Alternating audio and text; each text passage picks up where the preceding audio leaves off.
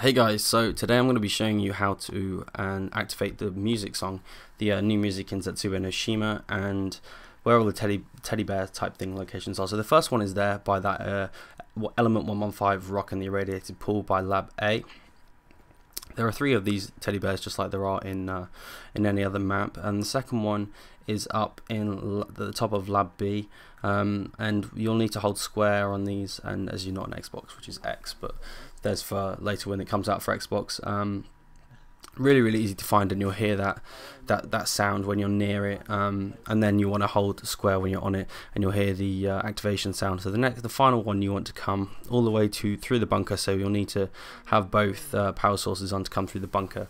Uh, for that. If you don't know how to do that, then there'll be a link in the description showing how to turn on the electricity. So you want to come all the way to the end of the pack punch where the pack punch is and keep going open this door for 1500 jump down here turn around run all the way to the back of the room and there is the final one right on this on this table type thing at the back here. Um, and then the song's activated. Um, it's not by Elena Siegman which is a bit disappointing because I think her songs are the best but that's it. If you want to listen to a full version I will also try and find a link and put it in the description.